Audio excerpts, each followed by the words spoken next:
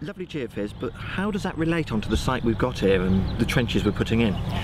Basically, what we've done is these are the magnetic results, and these are the ditches you can see on the aerial photographs that show this rectilinear enclosure. And what we were hoping to see in the magnetics were really strong magnetic responses over the villa building itself. Because you've got so much brick and tile and burning and the hypocaust and so on, then you get strong magnetic responses in those areas. You don't necessarily see the wall lines, um, but you can see the concentration. And we've got a couple of concentrations here, one there and one there and we think that's the footprint of the building even though you can't see the detail.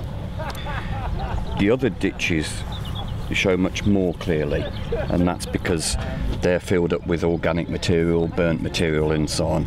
So you've got the clear plan of the area that the villa's set within um, but not a clear plan of the villa itself.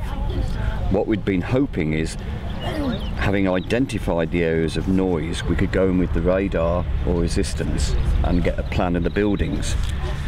But the radar isn't seeing any clear plan at all. And mm-hmm. I suspect it's because it's been robbed out so much, plough damaged. Um, the walls that are surviving are very fragmentary, and so they're not giving a clear plan. And that's why we're not seeing anything in the geophysics. Okay.